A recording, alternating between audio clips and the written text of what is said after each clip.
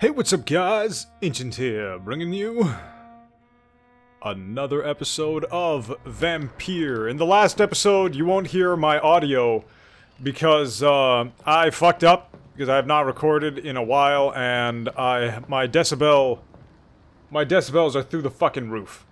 They are ear-bleedingly awful. So yeah, that's a thing. And here's a thing, and this is a thing. And that's also a thing.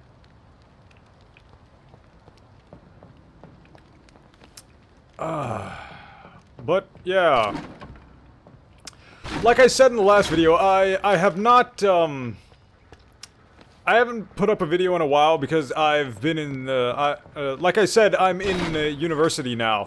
I'm doing a media course, so I don't have as much time as I once did. I no longer have all the fucking time in the universe. Which is both fortunate and unfortunate. Can't be my maker. Could it be some subspecies of vampire? I must find a place to analyze the blood. Yes. Uh, which, yeah, I'm, I'm doing a media course, which is pretty fucking awesome. I finally have something to do with my life. I have a reason to wake up in the morning, which is interesting to say the least. But yeah, I don't quite have time to upload as, as regularly as I once did. Which is... sad.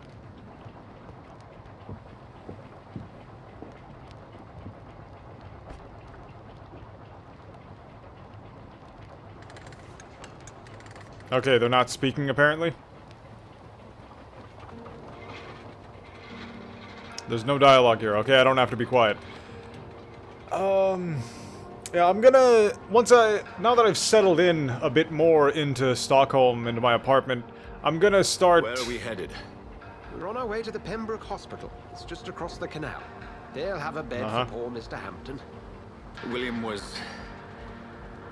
What manner of creature was he? Predator, prey, villain, and victim. Who can say? The important mm -hmm. thing is that he's been stopped.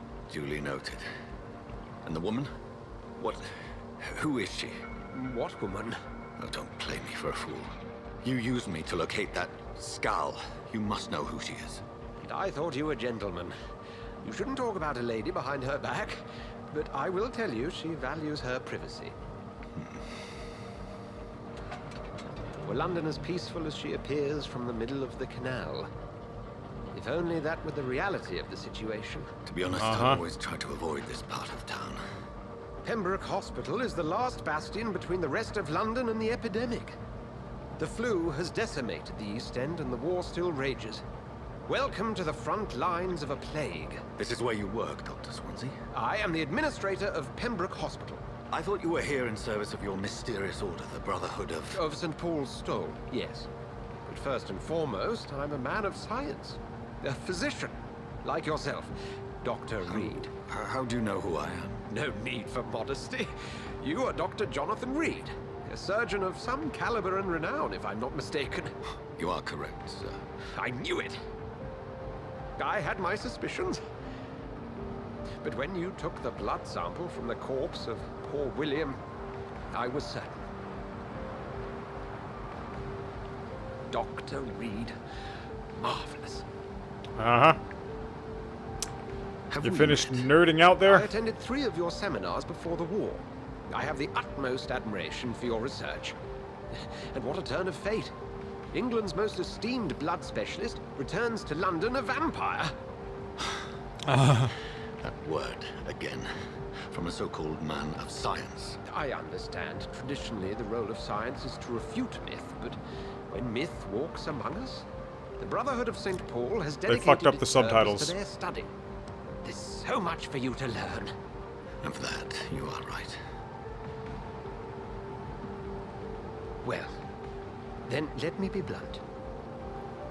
Join my staff at Pembroke Hospital. As a physician. I suspect you'll not find a better post of employment to contemplate your uh, predicament. This is sudden. I was returning home to see my sickly mother. But alas, that was before contracting this... affliction. Dr. Reed, take a moment to consider. The post would be for the night shift, providing a good explanation for your absence during daylight hours. You'll be adequately reimbursed and have a place to hide. I even had the forethought to bring some clean clothes. So, what do you say? It seems I have little choice, but yours is a generous offer, so I thank you. Brilliant! Oh, Jonathan, this is one for the book, and the beginning of a beautiful friendship. Aren't vampires supposed to have, like, increased regenerative powers? Why is that hole still in his back?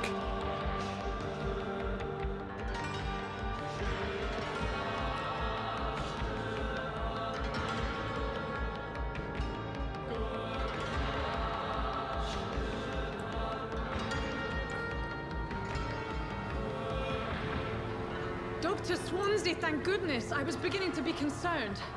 Worry no more, Nurse Crane, for I bring good news. Oh, Doctor, what a night. We lost two more patients. Nurse Scow said she couldn't take it anymore and resigned. Yes, well, I'll make a new rota in the morning. In the meantime, find a good bed for Mr. Hampton. Be sure to pay attention to his needs. Of course, Doctor. Oh, and Dorothy, Yes, Doctor? Dr. Reed here has just returned from the front. He served King Country and will be joining us here at Pembroke. We're very lucky to have gained a surgeon of his talent, and one so experienced in blood transfusions. That is good news indeed, Doctor. Oh, yes. Blood transfusions. Here at Pembroke, it's not what we have, but what we haven't.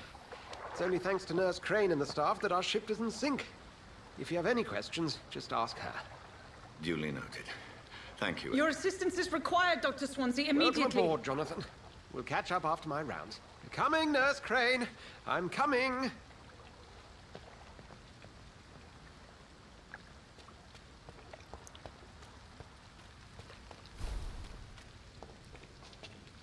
I'm sorry, Jonathan. Mr. Hampton needs me right now.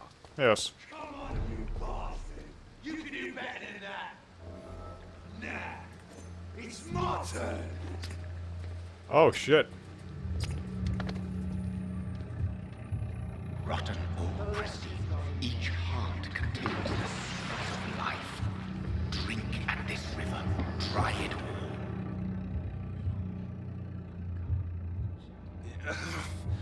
Oh, come on, you bastard! I won't bite. Sir, please. You've lost too much blood. Calm yourself. You think I didn't notice? Stop your staring and get me to an hospital, you ass! Good God, I want to kill you, but... Insulting a good Samaritan. Not exactly the way to get rescued. Alright, alright, sorry. I am in pain here. Me guts are spilling out onto the street and you're yabbering on. Yes. That's a very nasty wound you've got there. Take my word, I was... I am a doctor. Dr. Jonathan Reed. Name's Clay Cox. I'd appreciate you helping me to a better place, Doc. Follow me, Mr. Cox. Let me assist you to that better place.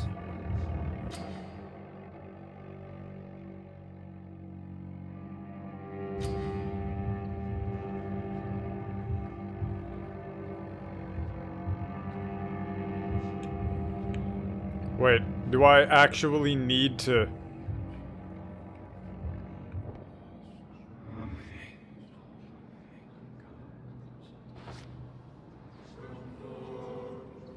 Bring this fading light into the shadows.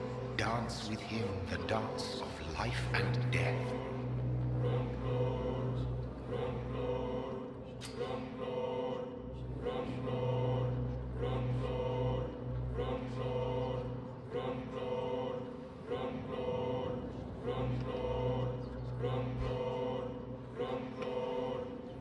I'll release him. No more. Not tonight. Not like this. I will not take another life.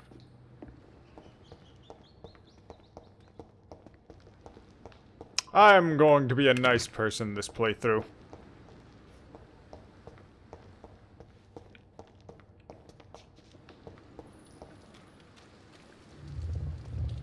It is wise for the huntsman to sometimes let his prey go. But no famished hunter can run for long.